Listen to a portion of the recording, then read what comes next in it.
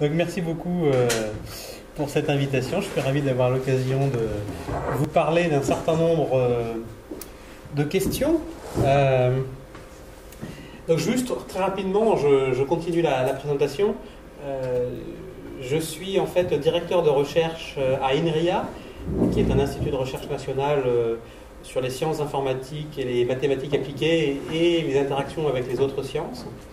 Et après avoir travaillé d'ailleurs une dizaine d'années dans, ce quartier au euh, laboratoire d'informatique fondamentale de Sony, qui est juste à côté, euh, bah, je suis maintenant depuis 5 euh, ans directeur d'un laboratoire à, à Enria, dont la majeure partie est à Bordeaux, puis une petite partie qui est à Paris également.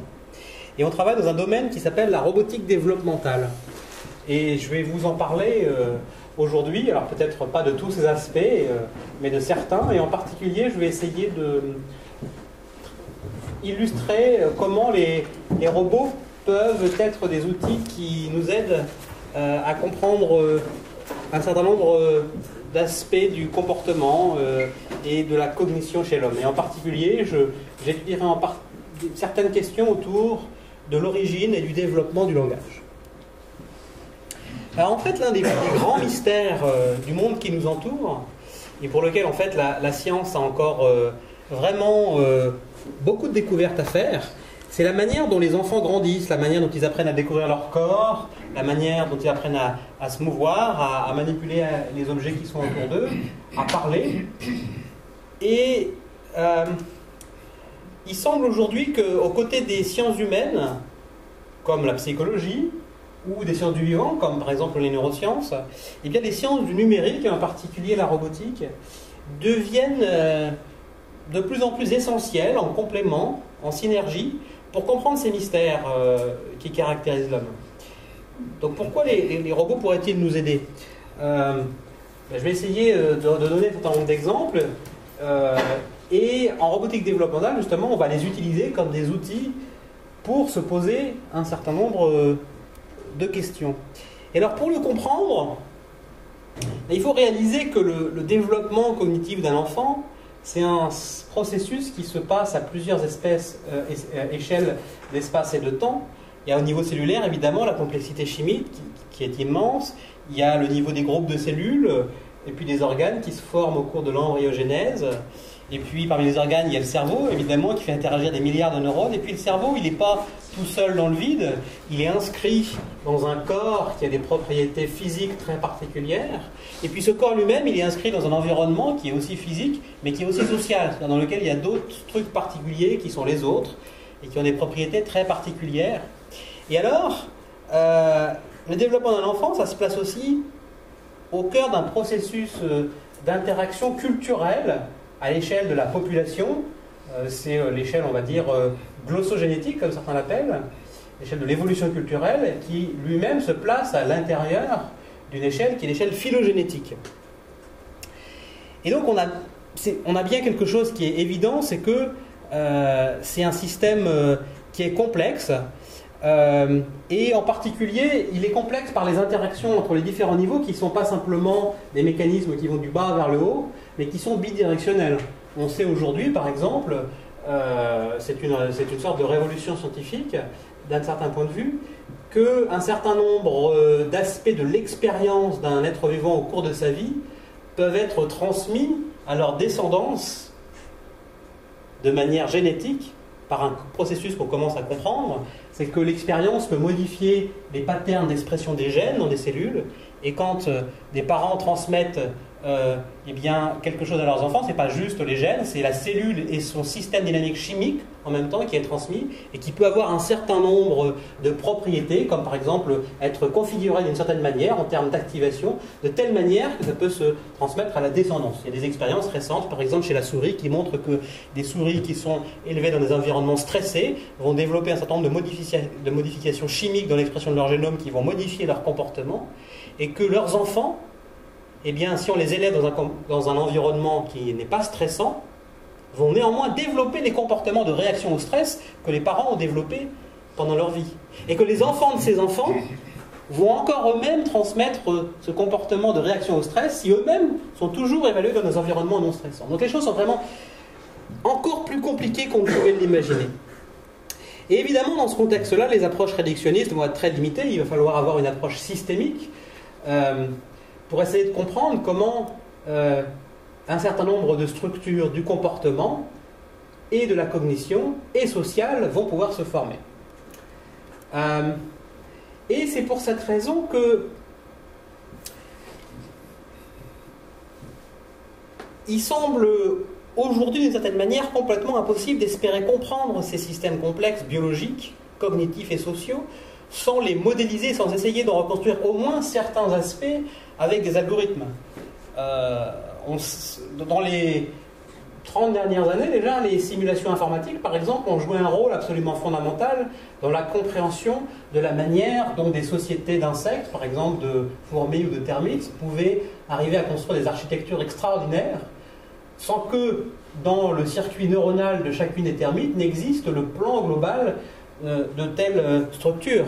Les avancées conceptuelles qui ont été faites pour comprendre ça, elles ont été faites en grande partie par l'utilisation de ces outils de simulation informatique, qui ont véritablement changé la manière dont les biologistes aujourd'hui et les éthologues réfléchissent sur ces questions. Et dans la dernière décennie, ben, on a observé une prolongation de cette révolution épistémologique dans laquelle on a commencé à utiliser des robots pour mieux comprendre le développement de l'enfant. Donc on n'est plus à faire des simulations informatiques pour comprendre euh, certain nombre de propriétés des sociétés d'insectes, on utilise des robots pour comprendre le développement de l'enfant. Et en fait, c'est une certaine prolongation naturelle. Alors pourquoi, pourquoi les robots et pas simplement des algorithmes euh, ou des mathématiques euh, J'en discuterai un petit peu, mais la raison, c'est principalement que dans le développement cognitif et social, le corps et ses propriétés physiques ont un rôle absolument essentiel. Et simuler les propriétés physiques du corps, bah, c'est souvent encore plus compliqué que de travailler directement avec un vrai corps physique. Et puis en particulier, dans l'aspect de l'inscription physique du corps, il y a l'inscription physique dans un environnement social, c'est-à-dire un enfant qui grandit en interaction avec des êtres qui eux-mêmes ont déjà un certain nombre de structures intelligentes. Bah, de simuler des partenaires sociaux, c'est compliqué, et puis on ne sait pas trop ce qu'on peut en comprendre tout le temps, donc c'est parfois utile, effectivement, eh bien, de développer des modèles dans lesquels les robots vont interagir avec des humains directement. Alors pas tout le temps, d'ailleurs, je vais commencer à vous présenter des exemples de travaux dans lesquels on est encore en simulation, mais dans lesquels on va voir que le corps, l'importance du corps est importante. On va commencer justement par euh, une question qui est celle de comprendre euh, l'origine et la formation du langage et des langues. Je parler d'abord de cette question-là et je vais montrer comment certains travaux de modélisation informatique peuvent permettre d'éclairer des questions qui sont anciennes et fondamentales.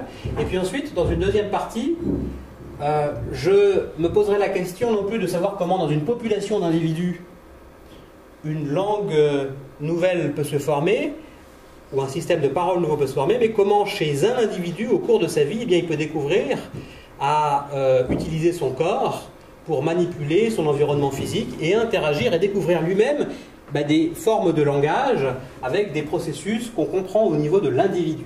Alors commençons d'abord par cette question au niveau de la population du groupe d'individus. En fait, cette question qui concerne l'origine du langage, elle est très ancienne, mais en même temps, d'un point de vue scientifique, elle est assez récente. Euh, pendant plusieurs siècles, il y a des théories très farfelues qui se sont développées et ça a poussé bah, un certain nombre d'académies à, décréter que euh, ça suffisait, on allait arrêter de réfléchir à cette question parce qu'on n'avançait à rien. Et euh, par exemple, la Société de linguistique de Paris avait décrété ça à la fin du XIXe siècle, ce qui n'a pas euh, encouragé les gens à, creuser beaucoup ces questions-là. Et puis, il se trouve que dans le milieu du XXe siècle, il y a une linguistique qu'on appelle la linguistique chomskienne qui s'est développée, en particulier grâce à Noam Chomsky, et qui consistait à argumenter qu'on pouvait comprendre euh, les éléments les plus fondamentaux de la langue sans vraiment se préoccuper ni de ses utilisateurs, ni de sa fonction, ni de son histoire. Donc en fait, on essayait de voir la langue comme une structure mathématique abstraite euh, qu'on pouvait étudier indépendamment de son inscription physique, sociale et fonctionnelle. Et on a fait des choses assez extraordinaires d'ailleurs en suivant cette approche-là. Et ça a eu par ailleurs des applications dans des domaines euh, euh, bah, très variés. Il y a beaucoup de concepts fondamentaux en informatique aujourd'hui qui sont basés sur des, avancées théoriques qui ont été faites grâce à Noam Chomsky. Mais ça a eu la conséquence que ça a renforcé ce, tabou, entre guillemets, de ne pas véritablement considérer la question de l'origine et de la formation des langues.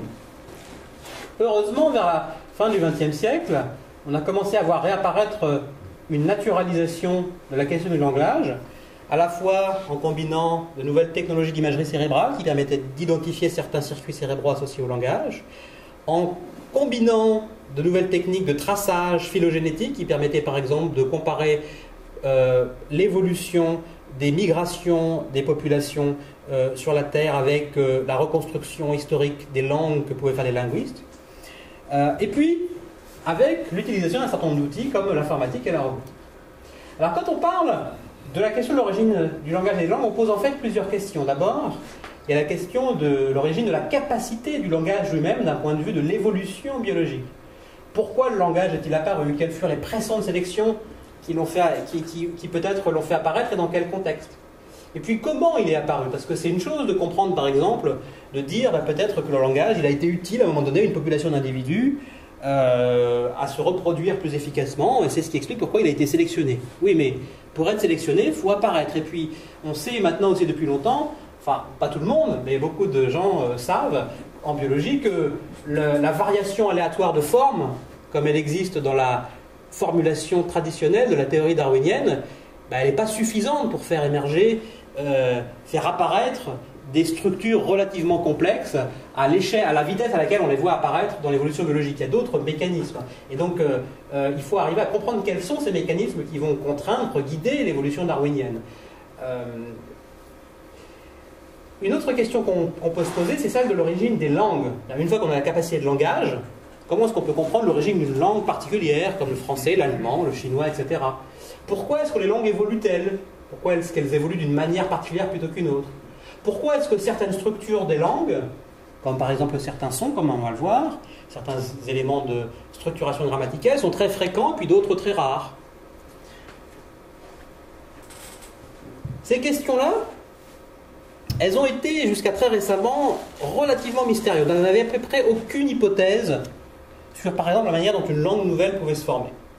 Et grâce au travail interdisciplinaire d'un certain nombre de disciplines, qui ne sont pas simplement les disciplines traditionnelles des sciences humaines qui s'occupent du langage, comme la linguistique par exemple, mais l'interaction avec la biologie évolutionnaire, la psychologie développementale et puis l'informatique aussi, a permis de comprendre un certain nombre de choses. Alors, en fait, il y a un certain nombre euh, de personnes qui ont suggéré euh,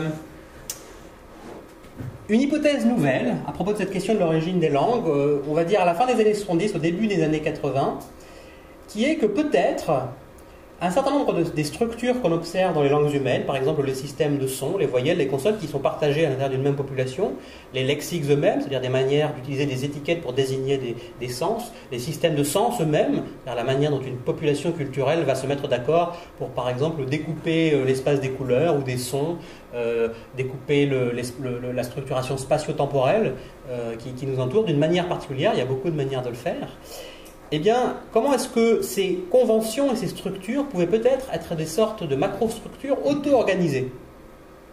Un peu de la même manière que les termites, par des interactions relativement simples entre elles, eh bien, vont faire apparaître une architecture physique assez extraordinaire, eh bien peut-être que certaines interactions simples entre les humains pourraient faire apparaître une structure abstraite, mais néanmoins une structure, comme celle du langage, partagé au niveau de la population sans qu'il n'y ait à aucun moment un chef de la langue qui aurait inventé et imposé à tout le monde une convention particulière. Mais ça, au début, c'était une hypothèse. Et c'est une hypothèse qui est quand même assez audacieuse et qui a été restée longtemps considérée comme spéculative par beaucoup de chercheurs parce que on n'avait aucun moyen d'en tester la cohérence, même la validité logique. C'était compliqué d'imaginer un tel mécanisme. Alors, les systèmes informatiques ont permis de faire un certain nombre de choses. Il y a des gens qui ont commencé à construire des simulations. Je vais vous en proposer un certain nombre. Je vais vous en décrire certaines qui s'intéressent à la question de l'origine de la parole et des sons. Mais il faut savoir que le même genre d'expérience a été fait pour comprendre l'origine de la formation de conventions lexicales, de catégories sémantiques, l'origine de la syntaxe, l'origine des règles de grammaire, et des travaux absolument extraordinaires qui ont été faits. Alors on va parler justement de cette hypothèse du rôle de l'auto-organisation dans l'évolution de la parole. Alors d'abord, je vais expliquer un petit peu ce que j'appelle, ce dont je parle quand je dis la parole. La parole, c'est le système des sons qu'on utilise pour communiquer. Et c'est un système qui est avant tout ancré physiologiquement. C'est un système qui est produit par un système moteur extrêmement sophistiqué, qui est le conduit vocal, et y compris les mouvements de la langue et de la mâchoire, qui est probablement le système moteur le plus complexe du corps humain. Et puis c'est un système qui est basé aussi sur un système perceptif, qui est lié à l'oreille, à la cochlée, et qui est lui-même assez compliqué. Et alors, quand on regarde les sons qui sont utilisés dans les langues du monde, eh bien on s'aperçoit qu'il y a un certain nombre de fortes régularités. D'abord, euh, quand on regarde une communauté linguistique donnée, et qu'on regarde par exemple l'ensemble de ces syllabes, imaginons un espace abstrait dans lequel on puisse représenter la trajectoire acoustique de chaque syllabe. Une syllabe, ça va être bla, fli, bleu, etc. Et qu'on voilà, on, en fait une représentation illustrative en deux dimensions. On va projeter des syllabes en deux dimensions. Et puis par exemple, on va imaginer une syllabe comme bla comme étant composée de sortes de trois objectifs articulatoires, c'est-à-dire des sortes de configurations du conduit vocal qu'on va atteindre les unes après les autres, un petit peu euh, avec comme des objectifs comme un, un, skieur sur une piste de ski va passer entre des portes, voilà. On représente ça par des petits points comme ça.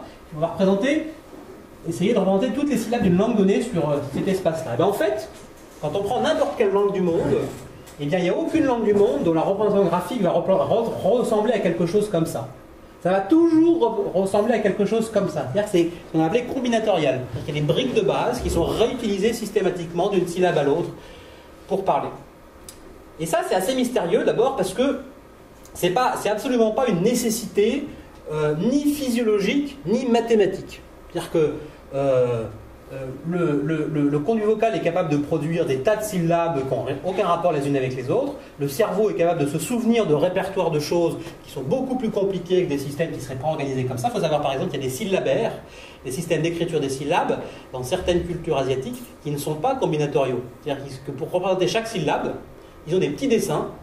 Il n'y a pas deux dessins qui représentent une syllabe qui ont un petit bout qui revient d'un dessin à l'autre. Ils arrivent à l'utiliser. C'est possible. Eh ben, les systèmes de son des langues humaines, ça n'existe pas. C'est toujours comme ça. Donc ça, c'est un mystère. Essayez de comprendre pourquoi et comment. Euh, un deuxième mystère, et quelque chose d'assez extraordinaire, c'est que une communauté linguistique donnée ne va pas simplement partager son propre répertoire de briques de base pour produire des sons, et qui va être différente aussi d'une communauté à l'autre, mais elle va aussi avoir une manière de percevoir et de sentir les sons qui lui est propre. On peut faire des expériences, par exemple, dans lesquelles on fait entendre des couples de sons à des, gens de langues différentes, et puis on leur demande, on leur dit objectivement, est-ce que vous pouvez évaluer la différence entre ces sons-là, euh, entre 0 et 10, par exemple? Alors on s'aperçoit que si on est japonais, si on est américain, si on est français, et qu'on nous demande objectivement la différence entre les sons, eh bien on ne va pas donner les mêmes réponses. C'est-à-dire qu'en fait, notre cerveau va déformer au niveau même de la sensation les sons qu'on perçoit, et cette déformation, elle va être corrélée avec les systèmes de sons qu'on utilise dans notre propre langue. Bon, on peut le faire expérience chacun, c'est-à-dire que par exemple, quand nous, on entend euh, des éléments de langue chinoise qui utilisent les tons pour distinguer les sons, bah, on a l'impression qu'on ne distingue pas les tons bien. Nous, tous ces trucs-là, il y a des mots qui, qui, pour nous sont exactement les mêmes, pour des Chinois sont très différents. Pour les Japonais, si on leur demande de faire la différence entre lead et read en anglais, ils n'entendent pas vraiment la différence. Pour eux, c'est très très similaire. Et alors enfin, maintenant, si on fait des statistiques sur l'ensemble des langues du monde et qu'on regarde si par exemple il y a certaines voyelles, certaines consonnes qui reviennent plus ou moins souvent, ben, on s'aperçoit que oui, il y a certaines voyelles qui sont très fréquentes, comme A, E, I par exemple. Pareil pour les consonnes. Et puis en même temps, il y a certaines voyelles aussi qui existent et qui sont très rares. Par exemple en français, on a an. Peu de langues ont la voyelle an. Il y a des systèmes, euh, il y a des langues dans lesquelles il y a 25 voyelles, d'autres euh, langues dans lesquelles il y a plus de 100 consonnes. donc il y a une variété qui est aussi extraordinaire. Donc il y a une dualité assez extraordinaire entre les régularités statistiques et puis une diversité. Et ça, on aimerait bien pouvoir le comprendre. Alors donc, on va se poser plusieurs questions. On va se poser la question quels sont les prérequis biologiques qui permettent la formation de code de la parole, un peu comme je les ai expliqués. Est-ce qu'on peut les comprendre comme des changements biologiques majeurs par rapport à des organismes plus anciens phylogénétiquement, ou alors des modifications mineures? Et puis on peut se poser la question comment une communauté d'individus peut en venir à partager un même code, à se mettre d'accord sur un code et pas sur un autre, sans qu'il y ait évidemment un chef de la parole, ça c'est sûr que ça n'existe pas. Et puis, pourquoi le code de la parole qu'on observe dans les humaines, il a la structure qu'on vient de décrire? Alors, il y a plusieurs théories qui ont été développées. Euh, parmi celles qui sont particulièrement intéressantes, on a une qu'on appelle l'approche morpho-fonctionnelle, dans laquelle on va essayer d'expliquer pourquoi certaines structures des vocalisations apparaissent souvent en fonction de leur euh, euh, avantage en termes de compromis entre leurs fonctions de communication, c'est-à-dire qu'en gros on veut des sons qui soient différents les uns des autres pour qu'on ne confonde pas les mots, mais en même temps on veut produire des sons qui ne demandent pas trop de dépenser d'énergie. C'est important aussi de ne pas trop dépenser d'énergie.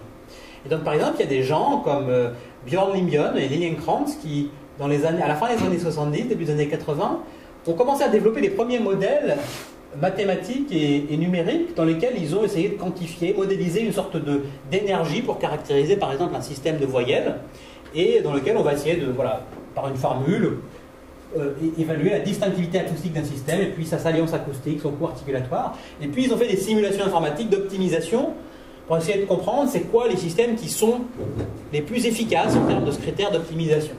Et puis ils se sont aperçus qu'effectivement les systèmes qui sont les plus efficaces bah, ce sont ceux qui sont aussi les plus fréquents dans les langues du monde. Donc là, on avait déjà un premier indice qui était assez important, assez intéressant. Mais en même temps, on était loin de répondre aux questions que je viens de poser. Par exemple, on n'expliquait pas comment cette optimisation qu'on faisait là numériquement avec un ordinateur, bah, elle avait pu être réalisée dans la nature ou dans la culture d'ailleurs. On ne savait pas si c'était l'un ou l'autre. Et puis, on n'avait aucune idée de savoir si les bonnes solutions étaient assez faciles à trouver ou au contraire difficiles. Donc, voilà mais encore plus loin, parce qu'on n'avait aucune idée avec cette approche-là de, de la manière dont une communauté d'individus particuliers pouvait choisir un système plutôt qu'un autre. Et puis enfin, ça n'explique pas pourquoi, néanmoins, il existe dans les langues du monde certains systèmes qui ne sont pas optimaux vis-à-vis de cette mesure-là, et qui existent depuis longtemps, et qui ne disparaissent pas. Donc il y a cette diversité. Donc il y a un certain nombre de modèles qui ont été développés, en particulier en France, il y a une école euh, très euh, euh, intéressante qui a produit beaucoup de choses à Grenoble, une autre école à Bruxelles, et puis bah, par exemple moi j'ai travaillé pas mal à Paris dans, un laboratoire de, Sony avec LuxTils. Alors une des expériences est la suivante, pour essayer d'avancer dans ces questions, c'est qu'on va construire des modèles informatiques euh, d'individus capables de produire des sons grâce à un modèle du conduit vocal, capables de les percevoir grâce à un modèle de l'oreille, de la cochlée, et puis capables d'apprendre un certain nombre de choses avec un modèle de carte de neurones, de réseau de neurones, qui connecte d'une part euh, le conduit vocal avec un système de contrôle moteur, l'oreille avec un système perceptuel, et puis ces deux systèmes neuronaux sont connectés les uns avec les autres. Alors ce genre d'architecture, il a été beaucoup développé dans les années 80-90 pour modéliser, non pas, s'intéresser non pas à la question de l'origine d'une nouvelle langue, mais tout simplement la question de l'acquisition d'un système de son déjà existant. Il y a un certain nombre de mécanismes euh, élémentaires qu'on introduit généralement dans ces modèles, eh bien, sont les suivants. D'abord, on va avoir des systèmes de plasticité dans les connexions entre ces deux cartes neuronales qui font que quand l'individu artificiel va babiller, c'est-à-dire que babiller, ça veut dire que par exemple, il va activer aléatoirement les neurones de sa carte motrice qui chacun, par leurs paramètres, encodent des configurations différentes du conduit vocal. Il va les activer en séquence, par exemple, ça va produire des mouvements du conduit vocal qui vont produire un son, et ce son peut être entendu par le modèle de l'oreille humaine qui active un certain nombre de neurones qui codent pour ces stimuli sonores. Et donc on va avoir en même temps des activations de la carte motrice et de la carte auditive, et on a un certain nombre de modèles d'apprentissage qui vont pouvoir apprendre ces corrélations grâce à des connexions plastiques entre les deux, et qu'il faut qu'en babillant, eh bien, le modèle d'individu va pouvoir apprendre les relations entre les commandes motrices et les stimuli auditifs. Il y a dans ces modèles un deuxième aspect de plasticité. Par exemple, la carte neuronale, qui est euh, une population de neurones qui chacun a des paramètres, et ces paramètres vont déterminer les stimuli sonores qui les font réagir maximalement. Au départ, ces cartes neuronales, elles sont totalement aléatoires.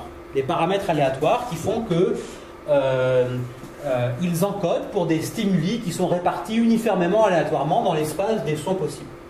Et alors, on peut avoir des règles d'apprentissage ou d'adaptation qui font que, par exemple, quand on entend un son qui correspond à une région de l'espace des sons, eh bien, les neurones qui répondent fortement à ce son vont être renforcés, sensibilisés, euh, pour que si, juste après, on, percevait encore une fois ce même son, eh bien, ils répondraient encore plus fort.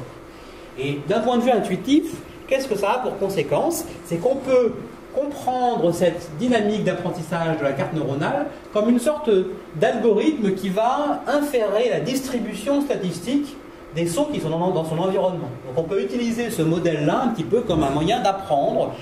Vraiment, c'est pour ça aussi qu'on appelle la carte, la carte des distributions des sons qu'il peut entendre. Et alors, Là, on va voir un exemple. Par exemple, on a des cartes avec des neurones dont les paramètres, ces petits points noirs qu'on représente. Les paramètres des neurones sont un petit peu au hasard au départ. Et puis, on a un stimuli sonore qui va correspondre à ce qu'on a de l'espace. Puis, il va activer beaucoup ces neurones-là, pas beaucoup ceux-là. Et puis, en conséquence, l'adaptation, on peut la voir géométriquement comme si on faisait bouger ces points qui représentent les paramètres de neurones un petit peu plus près de ce stimulus-là. Et puis, si par exemple, on fait entendre à cette carte de neurones eh bien, plusieurs, par exemple, trois euh, stimuli sonores qui correspondent par exemple à trois voyelles, d'une langue qui existe déjà, eh bien, on va s'apercevoir, euh, on va voir un petit peu mieux ici, que les neurones vont s'organiser dans des sortes de groupes, de clusters. Et alors ici, on va représenter quelque chose qui est très particulier. En fait, il y a plein de petites flèches, on voit ici, et ces petites flèches sont un moyen de représenter euh, la, sensation modélisée du son qui est produit. Le départ de chacune de ces petites flèches en fait, euh, ça correspond à un stimuli sonore qui est ici réparti comme une grille dans tout cet espace-là. Et pour chaque stimuli sonore, eh bien, il va activer l'ensemble des neurones de toute la carte. L'activation de l'ensemble de, ces neurones, on appelle ça un code de population d'une carte de neurones. Et avec ce code de population, eh bien, on peut essayer, par des systèmes de décodage, de modéliser la manière dont, par exemple, ce stimulus, décodé, codé de manière distribuée dans cette population de neurones, pourrait être redécodé par une autre partie du cerveau pour être réutilisé. Cette autre partie du cerveau pourrait être cette carte-là elle-même, qui encoderait un stimuli, le redécoderait, et on remettrait ce stimuli en entrée. Et en fait, qu'est-ce qu'on observe ici C'est que le bout de chaque flèche effectue une itération de ce, processus de codage-décodage. Et qu'est-ce qu'on s'aperçoit après l'apprentissage? C'est qu'on voit apparaître un sorte de mécanisme dans lequel ici on a des sortes d'attracteurs, c'est-à-dire des manières dans lesquelles les sons qu'on met en entrée, progressivement ils sont déformés un petit peu, et puis si on les remet en entrée, déformés, déformés, déformés, etc. donc qu'est-ce qu'on a formé ici? Ce n'est pas simplement aussi un modèle d'apprentissage, pas simplement un modèle de la sensation immédiate d'un son, mais aussi ça nous permet de modéliser, si on itère ce truc-là, eh bien, une sorte de mécanisme de catégorisation des sons. En gros, comment est-ce que des sons qui sont au départ des sortes de valeurs continues, on va pouvoir les regrouper en différentes catégories discrètes pour identifier que c'est les mêmes. Et en fait, chaque fois qu'on a un nouveau son, un stimuli, eh bien, on, va faire se, relâcher, se relaxer ce système dynamique, codage-décodage, et puis à chaque fois, on va s'apercevoir qu'il va tomber dans un attracteur, un état stable, dans lequel il se stabilise, donc par définition, et cet état stable du système dynamique, eh bien, on peut considérer que c'est une manière de catégoriser les sons. Alors, maintenant, là, on parlait de la, plasticité de cette carte neuronale. ces deux cartes-là étant connectées, en fait, quand ce modèle-là entend un son, eh bien, ça se propage, ça active cette carte-là, qui se déplace, qui se déforme un petit peu par apprentissage, et les activations sont propagées aussi automatiquement dans la carte motrice, qui elle-même va se déformer exactement de la même manière que celle-là. Et ça va avoir une conséquence relativement simple, c'est que quand un individu comme celui-là entend certains sons un peu plus souvent que d'autres sons, eh bien, ça va augmenter la probabilité qu'il produise un peu plus souvent ces mêmes sons lui-même quand il va faire du babillage. Ok Et alors maintenant, ce genre de modèle a été beaucoup utilisé, comme je vous le disais, pour permettre de modéliser comment à la fois un individu pouvait apprendre les relations entre espace moteur et espace perceptuel, et puis apprendre à produire les sons d'une langue donnée, avec un système de sons existant qu'on lui donnait en entrée, par exemple du flux de parole, du français, de l'allemand, du japonais. Une expérience intéressante euh, qu'on a essayé de faire est la suivante. Plutôt que de mettre ce système en face d'une langue existante, eh bien, on va mettre beaucoup de ces petits individus babilleurs qui ne connaissent rien des vocalisations ensemble, dans le même environnement, sans qu'ils le sachent d'ailleurs. Et ils vont babiller, ils vont entendre les uns les autres, leurs voisins.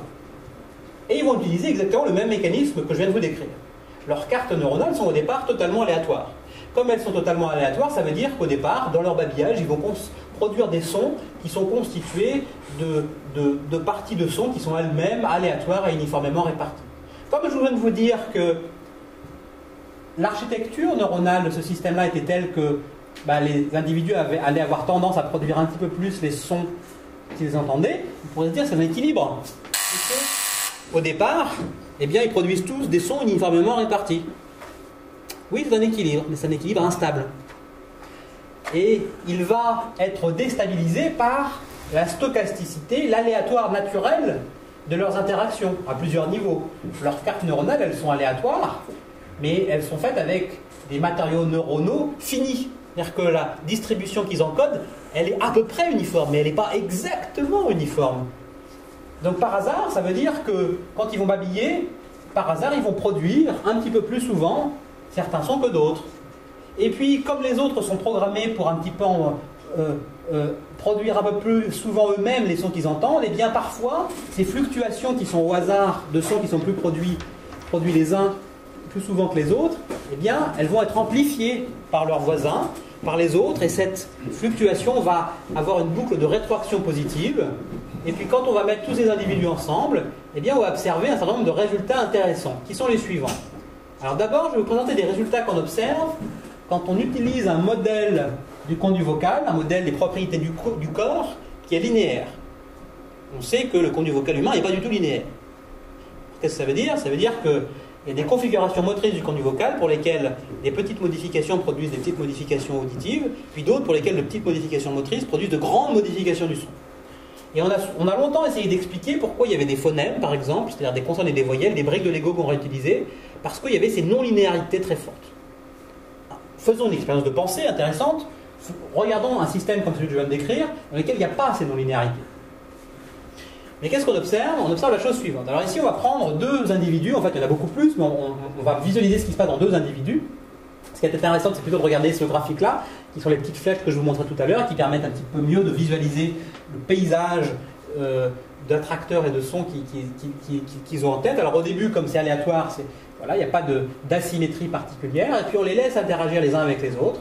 Et au bout d'un moment, grâce à ce phénomène d'amplification et de boucle de rétroaction positive, eh bien on s'aperçoit que des sortes de clusters sont apparus, qui sont les mêmes chez tous les individus d'une même expérience, d'une même communauté d'interaction.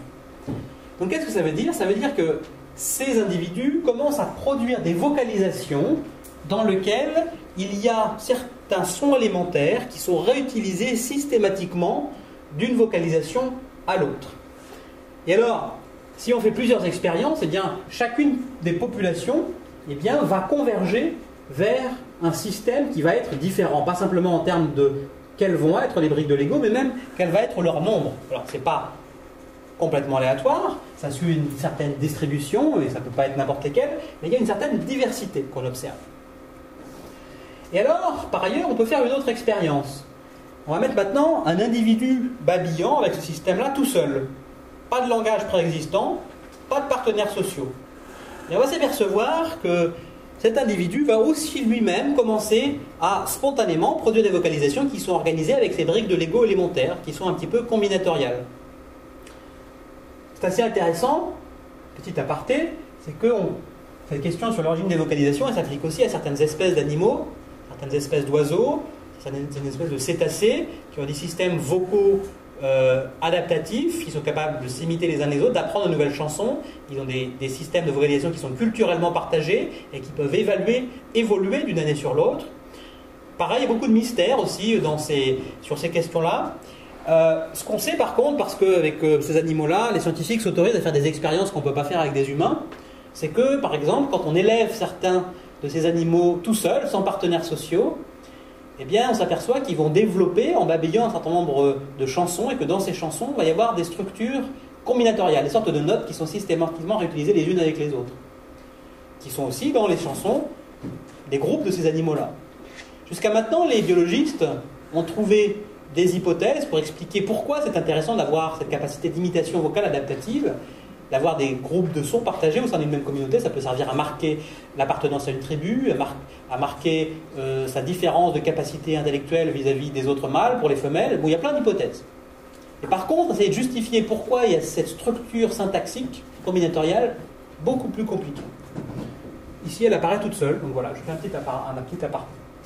Et puis, en même temps, donc, si on met ces individus tout seuls, les uns avec les autres, euh, pardon, tout seuls, et puis qu'on les met dans des endroits différents, ils ne peuvent pas s'entendre, ils vont développer chacun leur propre système de vocalisation combinatoriale. Et si on les met ensemble, alors ils vont se synchroniser automatiquement, et une communauté donnée va utiliser un seul code à la fin.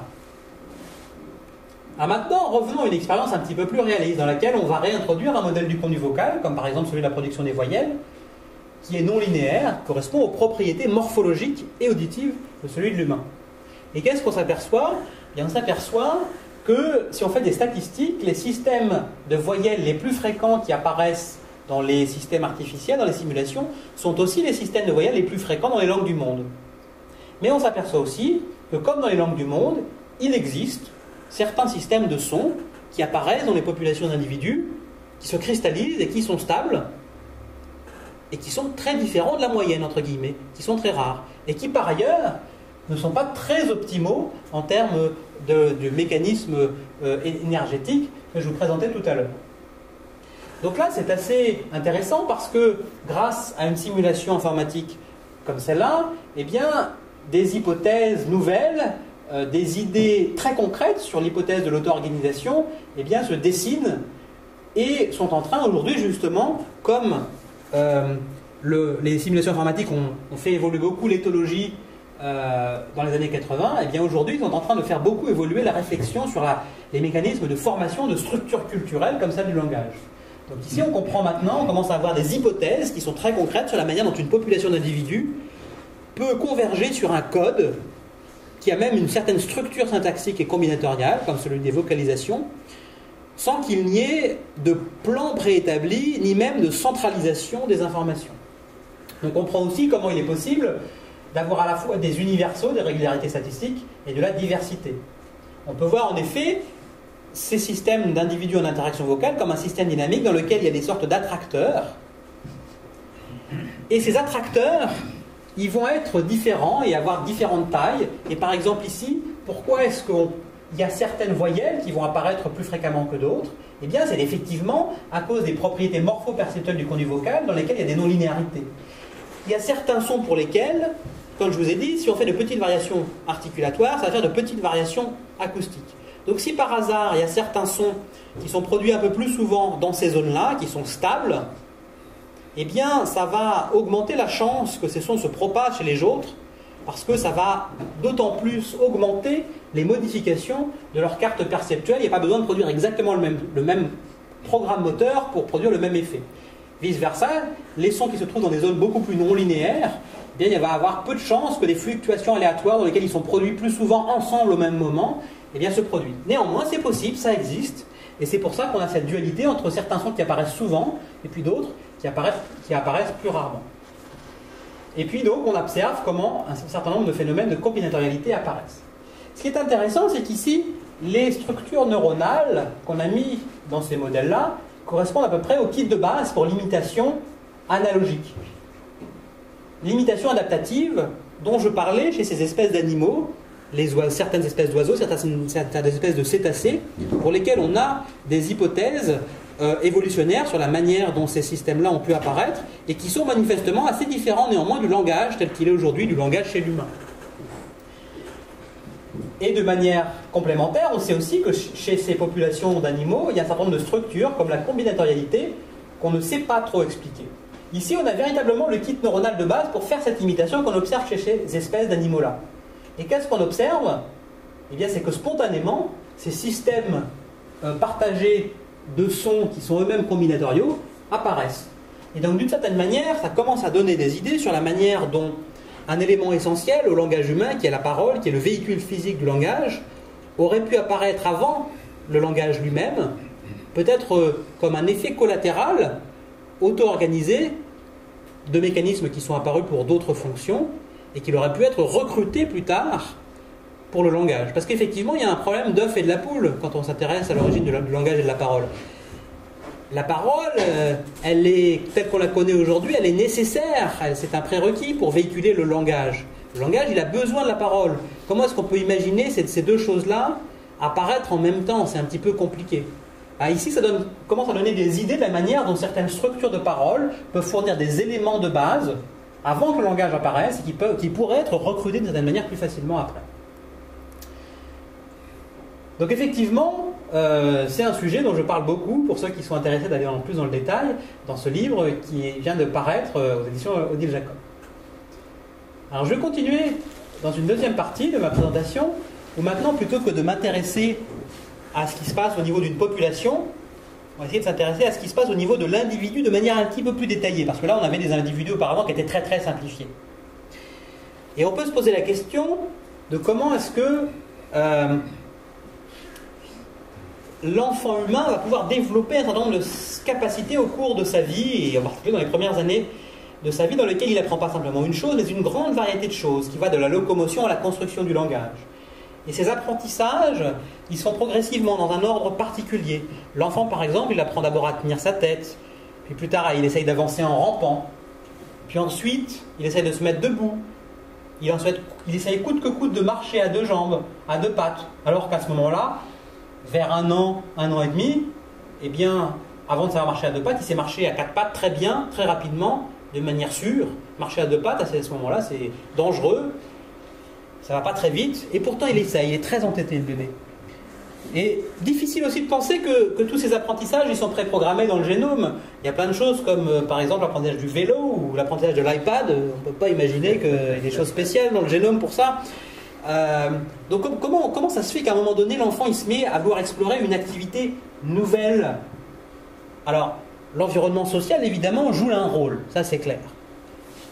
Mais il semble qu'il y a en nous une autre force qui soit fondamentale pour notre développement, pas simplement chez les enfants, mais chez l'adulte aussi et tout au long de la vie.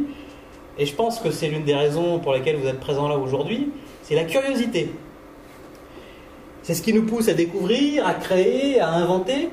Euh, et c'est un sujet qui a beaucoup été développé en psychologie euh, dans les 50 dernières années et qui a été associé à une notion qu'on appelle les motivations intrinsèques, qui consiste à, dire qu'il y a des, circuits dans le cerveau qui nous poussent à explorer des objets ou des activités nouvelles pour le pur plaisir de les pratiquer, pour le pur plaisir d'expérimenter ces choses nouvelles.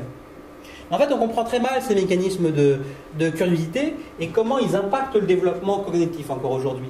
Euh, en neurosciences, on commence à peine à identifier les circuits neuronaux qui peuvent être identifiés, euh, qui peuvent être associés à, ces mécanismes de curiosité. Avec mes collègues, ça fait maintenant une dizaine d'années qu'on s'intéresse véritablement de près à cette notion de curiosité, euh, qu'on essaye de la comprendre mieux en, essayant de construire des modèles robotiques euh, dans lesquels euh, les robots vont par exemple s'intéresser à des activités nouvelles.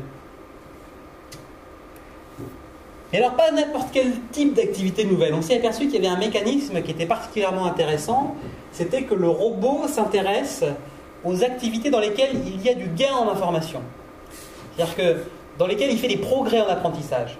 C'est-à-dire que les activités qui sont ni trop faciles mais aussi ni trop difficiles quand il y a trop d'entropie et qu'elle ne diminue pas, quand c'est trop compliqué et qu'on ne fait pas de progrès, c'est pas intéressant, on s'en désintéresse. Donc ce qui est intéressant, c'est ce qui est un peu plus compliqué que ce qu'on sait faire juste à un moment donné, mais qu'on pense qu'on va réussir à faire. Donc par exemple, ça ici, on a une architecture euh, qu'on appelle IAC pour en anglais Intelligent Adaptive Curiosity. Et on a d'abord un, premier niveau où le, robot ici euh, à chaque fois qu'il va faire une action dans un contexte donné, va essayer de prédire la conséquence de, cette action avec une machine de prédiction, par exemple avec un réseau de neurones artificiels. Donc ça peut être par exemple, faire une action, c'est un mouvement avec son bras, et puis on va observer comment ça fait bouger les objets qui sont devant soi. Et donc, ben, quand on fait ça, eh bien, avant de faire l'expérience, on peut faire des prédictions avec ce genre de machine. Et puis quand on fait l'expérience, on observe le résultat, et puis le résultat on compare avec notre prédiction, et puis cette prédiction va servir à deux choses. D'une part, elle va servir à mettre à jour notre modèle de la dynamique et de la physique du monde. Et puis d'autre part, elle va être considérée par un système métacognitif. Et ce système métacognitif, il va en permanence essayer de, de prédire l'évolution des erreurs du bas niveau. C'est-à-dire qu'en fait, il va essayer d'apprendre à dire si tel ou tel type d'action ou d'expérience physique qu'on fait dans certains contextes, bah, ça va nous faire progresser ou pas. Donc ça veut dire que ce système-là, il va permettre à l'individu de savoir pas simplement quel est le niveau de ses connaissances dans différentes activités ou différents domaines, mais même de savoir s'il continue à les pratiquer, ça a des chances statistiques de nous faire progresser. Et donc on va pouvoir mesurer ce qu'on va appeler le progrès en apprentissage. Et ce progrès-là, en fait, on va le mesurer pour des activités particulières de l'espace sensorimoteur qui correspondent à des petites régions. Là. Cet espace-là, c'est l'ensemble, si vous voulez, des activités sensorimotrices. Et puis on va avoir un processus de catégorisation, parce qu'au départ, le monde, il ne vient pas diviser en activités séparées, c'est un tout en différencié, pour l'enfant en particulier. Et donc il va créer des catégories d'activités en essayant de différencier des activités motrices qui, ont justement des, potentiels de progrès très différents. Et puis pour chacune d'elles, il va regarder l'évolution des progrès en apprentissage. Et puis à partir de là, il va y avoir un système de sélection de l'action qui va en gros dire à l'individu sélectionne des expériences pour lesquelles eh bien, tu as de grandes chances de te retrouver dans une région dans laquelle tes erreurs diminuent très rapidement. Donc ce qui va être intéressant, c'est véritablement là où on fait des progrès. Mais en même temps, il ne faut pas faire que ça. Parce que peut-être qu'on pourrait s'apercevoir que dans une région de l'espace sensorimoteur, il y a une activité pour l'instant qu'on n'a pas trop pratiquée, mais qui est une niche de progrès importante. Donc il faut consacrer une partie de son temps à aussi un petit peu picorer à droite à gauche pour voir s'il n'y a pas d'autres choses qui sont intéressantes. Et puis de toute façon, à un moment donné, il va falloir qu'on change. Parce que par définition, eh bien, une activité dans laquelle on apprend, eh bien, la plupart du temps, au bout d'un moment, eh bien, on l'a bien apprise, on la maîtrise, on atteint un plateau, on ne fait plus de progrès. Et c'est là qu'il est intéressant de savoir qu'est-ce qu'on va faire après eh bien, Pour savoir qu'est-ce qu'on va faire après, eh c'est intéressant d'avoir déjà un petit peu exploré d'autres choses pour s'être fait un modèle à quel point on peut faire des progrès. Donc là, on a une expérience qui s'appelle l'expérience du playground. On a un petit robot au centre qui est doté de ce système d'apprentissage dirigé par la curiosité. Et au départ, il ne connaît rien ni de son propre corps ni de l'environnement. Donc typiquement, il va commencer à faire des mouvements qui sont un petit peu désordonnés, un petit peu au hasard. Euh, mais assez vite, il va commencer à utiliser que certaines parties de son corps en même temps. Puis ensuite, il va progressivement commencer à faire des mouvements dans des directions de son environnement dans lesquelles nous, en tant qu'observateurs extérieurs, on sait qu'il y a des objets qui peuvent répondre ou produire des effets face à ces actions. Mais lui, il n'a pas de notion d'objet. C'est nous, en tant qu'observateurs extérieurs, on s'aperçoit de ça. D'abord, il va le faire de manière non spécialisée, en essayant par exemple de taper les objets qui sont trop loin ou de focaliser vers un objet qui ne répond pas toujours. Et puis un petit peu plus tard, il va commencer à explorer certains types d'actions en direction de certains types d'objets. Donc par exemple, essayer de jouer avec cet objet-là en donnant des coups de patte et en regardant en même temps pour voir si ça le fait bouger. Et puis il va arrêter. Et puis il va un petit peu plus tard commencer à jouer avec cet objet-là, avec sa bouche, en essayant de l'attraper, de le laisser tomber, et puis de regarder quelle sensation ça fait dans sa bouche. Et puis il va arrêter. Et puis un petit peu plus tard, il va commencer à vocaliser, il va produire des sons, euh, des vocalisations, et puis il va le faire en direction de cet autre robot qui a été préprogrammé pour imiter les sons de celui-là, quand celui-là produit des sons et en même temps regarde l'autre. Donc là, on voit, c'est le début de son exploration. Ah, ce robot il produit un son, et puis en direction de ça, puis il répond pas, mais il sait rien au début. Il n'a pas de raison de savoir que quand on vocalise vers ce genre d'objet, ça produit rien. il doit l'expérimenter. Mais au bout d'un moment, il s'aperçoit que ça ne produit pas de progrès d'apprentissage, que c'est trivial, il se passe tout le temps la même chose, c'est-à-dire rien. Donc il va passer à autre chose. Et alors, ça veut dire que euh, on observe vraiment quelque chose de très intéressant. C'est-à-dire qu'en fait, on a vraiment ce robot qui, avec ce mécanisme de curiosité, il commence à manipuler des objets et apprendre à les, à les utiliser sans que l'ingénieur ne lui ait demandé spécifiquement d'apprendre à les manipuler. C'est le résultat collatéral de son mécanisme d'exploration du monde physique par ce besoin d'apprendre. Et puis ensuite, son comportement s'auto-organise en phases comportementales qui sont de plus en plus complexes. Si on refait l'expérience plusieurs fois, à chaque fois on observe ça. L'apparition de ces stades, par exemple jouer avec tel objet de manière particulière, et après avec tel autre d'une autre manière, et après avec tel autre d'une autre manière, et qui apparaissent effectivement avec une certaine régularité. Et en même temps, dans certaines expériences, même algorithme, même environnement, on observe parfois des robots qui ont une trajectoire développementale différente. On retrouve la propriété de l'expérience précédente, de la dualité entre des régularités statistiques universelles, l'étude de la diversité, pourtant avec un seul et même mécanisme et un seul et même environnement. Et pour les mêmes raisons. La relation entre le système d'apprentissage, la curiosité, le corps du robot et son environnement, ça forme un système dynamique et en fonction des contingences historiques de son exploration et du hasard et des aléas, eh bien, il va tomber dans un chemin plutôt que dans un autre. Et puis enfin, ce qui est intéressant, c'est qu'on s'aperçoit ici aussi que le robot, à un moment donné, commence à vocaliser systématiquement et à interagir vocalement avec l'autre robot. Et donc on comprend que finalement ici, un mécanisme très générique de curiosité, qui est un mécanisme fait pour l'exploration du corps en général, amène automatiquement ce robot à découvrir euh, et à s'impliquer dans des interactions qu'un observateur extérieur pourrait appeler des interactions de communication. Et donc ça, ça a permis effectivement de générer des nouvelles hypothèses, à la fois sur le rôle important de la curiosité dans la structuration du développement sensorimoteur et cognitif. Avant ces expériences-là, en psychologie, la curiosité, elle n'était pas du tout conceptualisée comme étant quelque chose qui pouvait structurer sur le long terme le développement cognitif. Et puis aussi, on, on commence à comprendre comment peuvent apparaître ces étapes développementales les unes après les autres avec un ordre, une structure particulière, sans qu'elles aient été précablées à l'avance. Et c'est vraiment le résultat de l'interaction dynamique entre le corps, le système d'apprentissage et l'environnement. Alors, euh, avant juste de conclure, je vais vous montrer une, petite, une dernière petite chose, euh, qui est un, projet récent qu'on a développé. C'est comme je, viens, je viens de vous le dire, un des aspects de ces expériences, c'est de s'apercevoir que le corps peut avoir un rôle important dans le développement euh, cognitif. Si on prend véritablement cette idée sérieusement et qu'on veut l'étudier, eh bien finalement on va être forcé à considérer le corps comme une variable expérimentale. Donc, même système, et on veut le mettre, même cerveau, mais on veut le mettre dans des corps différents. Évidemment, avec le monde biologique, c'est un petit peu difficile de faire ça. On imagine mal prendre le cerveau d'une souris, le mettre dans un corps de serpent et vice-versa. Euh, on ne sait pas faire, et donc du coup, ben, ça pose véritablement des problèmes épistémologiques parce qu'on ne sait pas trop comment étudier cette importance du corps dans la, dans, la trajectoire développementale. Avec les robots, on peut le faire en théorie, parce qu'on a un, peu d'une certaine manière un côté, le, si vous voulez, le logiciel qui va implémenter certains appuis cerveau, puis le corps. Mais en pratique, ça pose un certain nombre de problèmes parce que le corps, même euh, si on peut un peu le séparer du cerveau, eh bien, ça reste difficile euh, d'un point de vue de l'ingénierie de le faire varier. Sauf que récemment, il y a des techniques nouvelles qui ont ouvert des possibilités les techniques de l'impression 3D. Des techniques dans lesquelles, finalement, grâce euh, aux imprimantes 3D, eh bien, en deux jours, on peut faire un dessin avec un logiciel 3D, avec des propriétés géométriques du corps, par exemple, et puis, le lendemain, on l'imprime sur une imprimante 3D, on a un corps dans les mains qui est nouveau.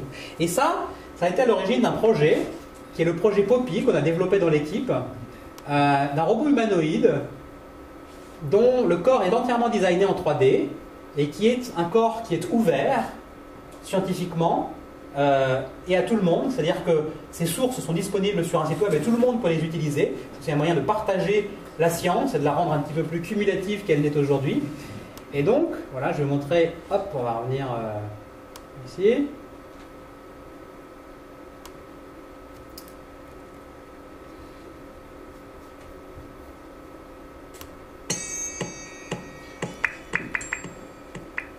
Et donc ce robot, euh, dans sa première version d'ailleurs, comme on peut très facilement construire une structure euh, euh, assez particulière, déjà, il a une structure qui est originale par rapport à beaucoup de robots. Il a une colonne vertébrale. La des robots ont ici des grosses boîtes qui permettent de ranger l'ordinateur et la batterie. Pas de chance, la colonne vertébrale elle est essentielle dans le contrôle de l'équilibre. et puis il a aussi des jambes qui ont une forme un petit peu comme ça, contrairement à beaucoup de robots qui ont des jambes droites. Il a un certain nombre de parties de son corps qui ne sont pas simplement contrôlées par des moteurs classiques, mais dans lesquels il y a des élastiques, des ressorts, euh, des propriétés de flexibilité qui permettent à la physique elle-même aussi de réagir à l'environnement et de produire un certain nombre de propriétés.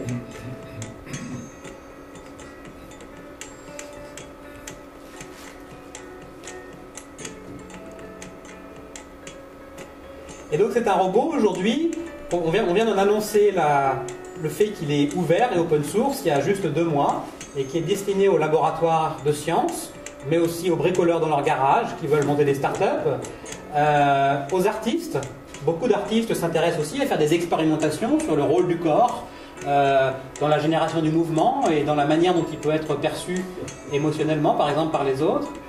Euh, on est en train d'ailleurs de monter plusieurs collaborations avec des artistes. juste avant cette, cette, rencontre, j'étais à la Fondation Cartier pour l'art contemporain pour discuter de projets potentiellement avec ce robot-là. Et puis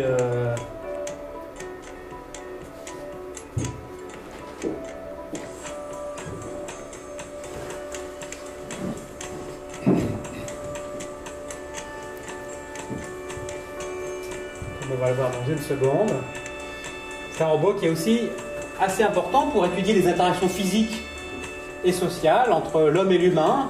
Et par exemple, pour euh, permettre cette interaction dans laquelle on le prend par les mains et on nous suit, il n'y a pas besoin de programmer de choses particulières, de modèles de l'humain et de son comportement pour arriver à le suivre. Mais en designant une physique qui est appropriée, eh bien, on est capable de faire que le robot, avec des algorithmes de contrôle relativement simples, va spontanément suivre, suivre l'humain. Donc c'est le début d'une nouvelle manière d'étudier le, rôle du corps dans la cognition et qui va prolonger, être un outil pour prolonger cette, approche épistémologique un peu nouvelle qu'on a commencé et dont je vous ai présenté les, certaines expériences avant. Merci beaucoup.